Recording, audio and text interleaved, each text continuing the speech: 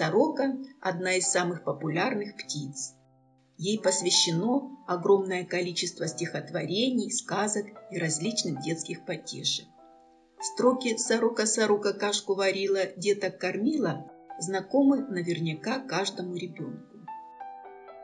Но что же на самом деле это за птица? Сегодня мы поговорим как раз об этом. Сороки – это удивительные птицы. Они так же, как и вороны, одни из самых умных. Соотношение массы тела и мозга у них такое же, как у шимпанзе и горилл. Но в отличие от ворон, сороки очень боятся людей, так как в деревнях этих птиц не любят и при возможности разоряют их гнезда и отстреливают взрослых особей. Поэтому сороку очень сложно сфотографировать или снять на видео. Стоит достать фотоаппарат, и птица мгновенно улетает. Чтобы снять кадры, которые вы видите, орнитологу Антону Барановскому пришлось очень постараться и неоднократно прибегать к различным хитростям.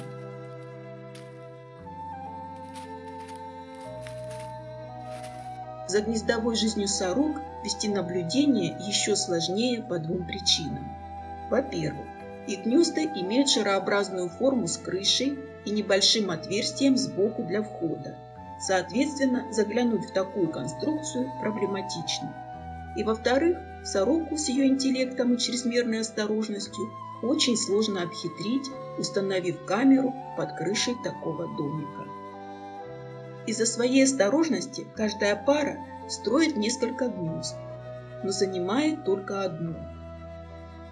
Гнезда они строят из веток и укрепляют глиной. Антону Барановскому удалось снять момент, когда сорока ранней весной собирала кусочки глины для своего жилища. Антон много лет подряд безуспешно пытался снять гнездовую жизнь этих птиц, прибегая к различным хитростям. Но все усилия были тщетны. Однако ученый не терял надежды и терпеливо ждал, когда попадутся птицы с особым поведением, которые позволят произвести съемку внутри гнезда. И такая пара сорок ему повстречалась весной 2017 года. Гнездо эта пара расположила в двух метрах от полевой дороги с оживленным движением в кусте шиповника – очень низко над землей, на высоте всего лишь полтора метра, что случается очень редко. При появлении человека птицы не устраивали типичный для сорок переполох со сбором ближних соседей. Они просто отлетали подальше и безмолвно наблюдали за осмотром гнезда. Камеру, втиснутую в толщу крыши, они не боялись. После установки камеры самка буквально сразу прилетела к гнезду. Благодаря этому Антону удалось снять уникальные кадры, которые мы с вами сейчас имеем возможность видеть. Единственное, что беспокоило птиц, это тряпка, которой Антон прикрыл камеру. Они постоянно ее снимали и куда-то уносили. Антон для эксперимента возвращал тряпку назад, но она вскоре снова исчезала. Птенцы появляются на свет абсолютно голенькими. Они разновозрастные.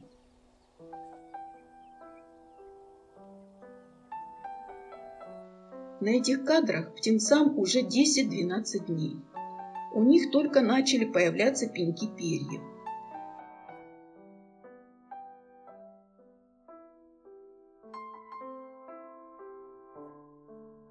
Кормят детей оба родителя –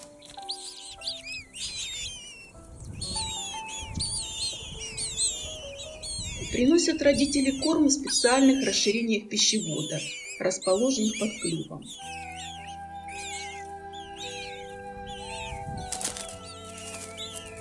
Для поддержания чистоты в гнезде они забирают у птенцов экскременты.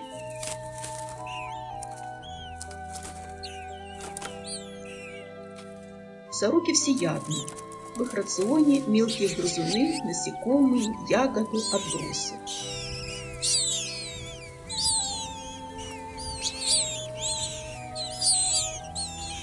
У этой птички вполне заслуженная репутация вориши.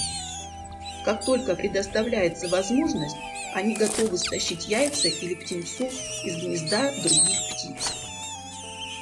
Коллега Антона Барановского, зооинженер Василий Вишневский, проделал эксперимент, подложив в пустое гнездо дрозда перепеленные яйца и установив рядом с гнездом фотоловушку. Целью эксперимента было выяснить, кто разоряет гнезда. Оказалось сороки. Однако, кроме вреда, эти птицы приносят и пользу. Например, сороки собирают клещей из шкур крупных животных, усаживаясь к ним на спину. Они могут также вытягивать уже впившихся паразитов. Стрекот сорок очень специфичный, и спутать его с другими пернатыми просто невозможно. Темп этого стрекота служит своего рода сигналом для остальных птиц. Чаще всего быстрые и отрывистые звуки предупреждают об опасности. При таких быстрых звуках птицы разлетаются. Если же темп более медленный, то сороки настораживаются и останавливаются. Голос сороки может сказать много не только остальным птицам, но и животным леса. Например, эти птицы оповещают о приближении охотника. В возрасте приблизительно три недели, еще не умея летать, птенцы-сороки начинают вылезать из гнезда. Однако родители продолжают их кормить. Поскольку яйца у сорок откладываются не одновременно, насиживание начинается с первого яйца, то птенцы растут тоже не одновременно. Первые птенцы давно уже покинули гнездо и перемещаются по соседним кустам сами, а младшие пока сидят в гнезде.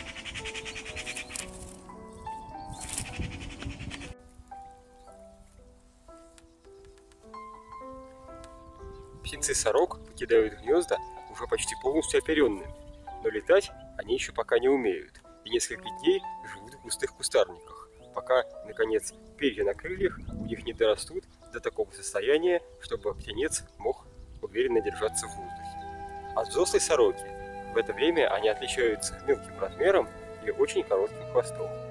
Хвост дорастает до длины, характерной для взрослой сороки, в течение следующего месяца после вылета саранчетка из гнезда.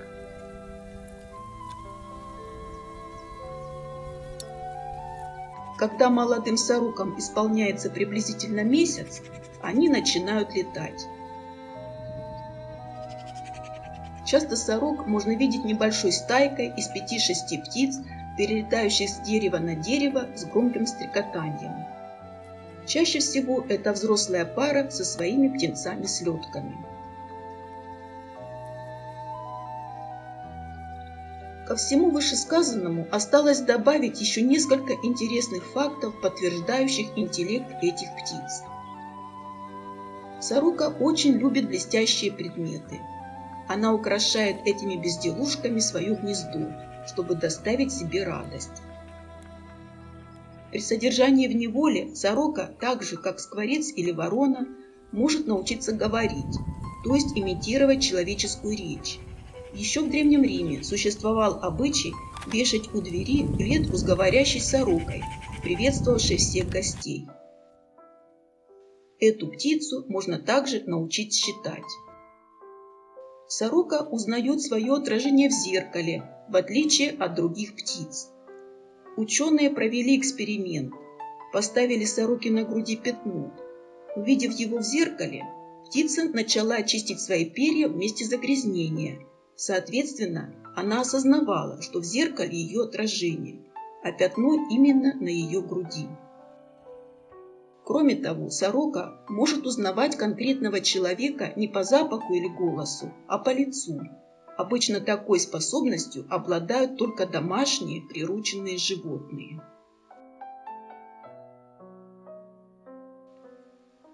Излишки пищи эти птицы прячут в разные укромные места, например, в щели домов или под опавшие листья, причем потом без проблем находят эти тайники. Это далеко не полный перечень того, что умеют сороки, но даже и его достаточно, чтобы понять, насколько умны эти птицы. Ну вот и все, что мы хотели рассказать сегодня. Оставайтесь с нами, и вы узнаете много интересного о птицах, населяющих Россию. До скорых встреч!